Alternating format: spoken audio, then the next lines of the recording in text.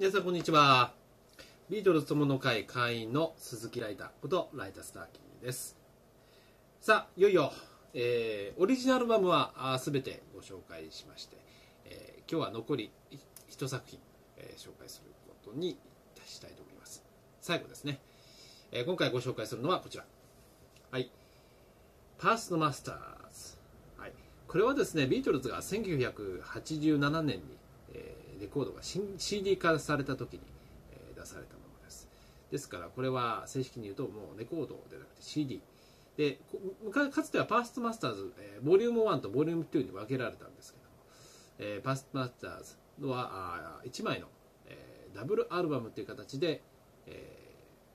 ー出てるものです。でこれはあのシングルすなわちアルバムに入ってない曲が、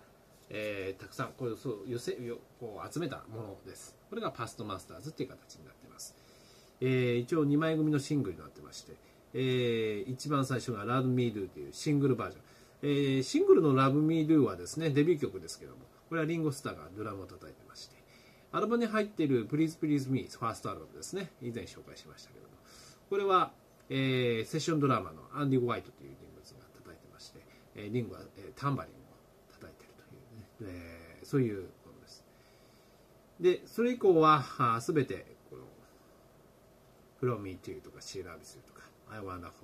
とかこういうのが入ってます。で1の特徴としてはその「I Wanna Hold Your Hand」と「She Loves You」えーこれのドイツ語版が入ってるんですね、えー8番目と9番目「Come Give Me Dine Hand」と「シビシリビ」ごめんなさい。ドイツ語わかんないんで、えーそれが入ってます、えーなぜドイツ語かというとますとあのビートルズはデビュー前にハングハンブルグというところで、えーいわゆる何回かライブしに、まあ、巡業に出てるんですね。デビュー前の話ですけど。まあそのそれにお礼を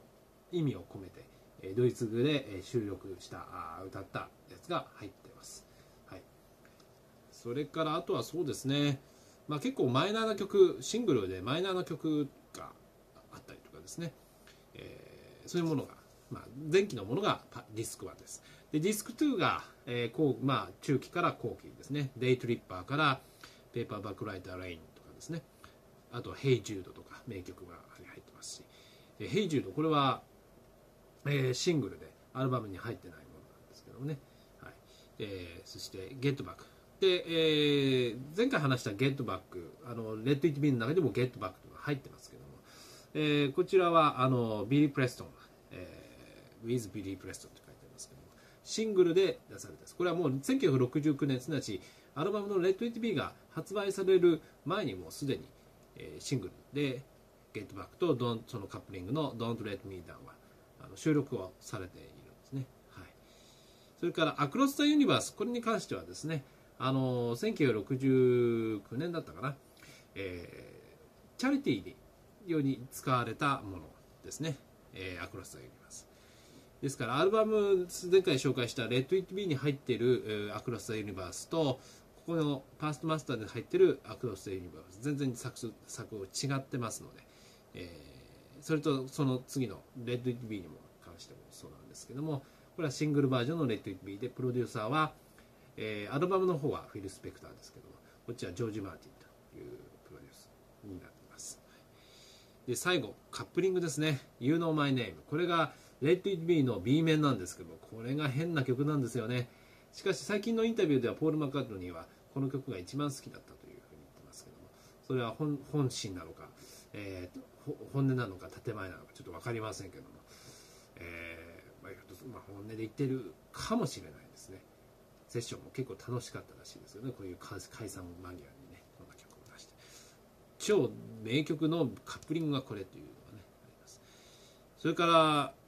6このディスク2の6番目に入ってる「The Inner Light」実を言うとこのビートルズは公式曲213あるんですけども213曲の中で一番最後に知ったのが僕この「The Inner Light」でないな。というふうに今思い出したんですけども。レディー・マドンナのカップリング B 面ですね、えージョージが書いたもう完全なインド曲っていう感じの、えー曲なんですけども、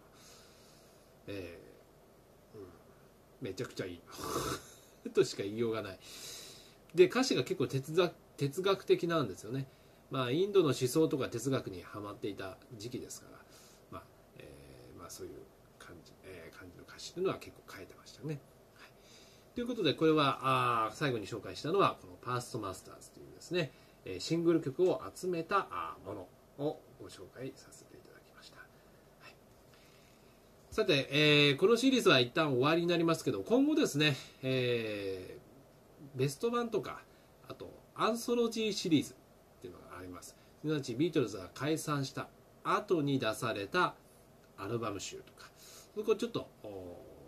つまんで紹介していきたいと思っておりますのでまだまだ一応続きます、はい。えーこのシリーズ、えーこんな感じで、まあ、まずひとまず、えーオリジナルの13アルバムとそして14枚目「パーストマスターズ」のご紹介はこれで終了という形になります、えー皆様どうもご清聴ありがとうございました。ご視聴ありがとうございました、えーよかったら高評価低評価のボタンチャンネル登録よろしくお願いいたします。ということで今回はこんな感じで。ありがとうございました。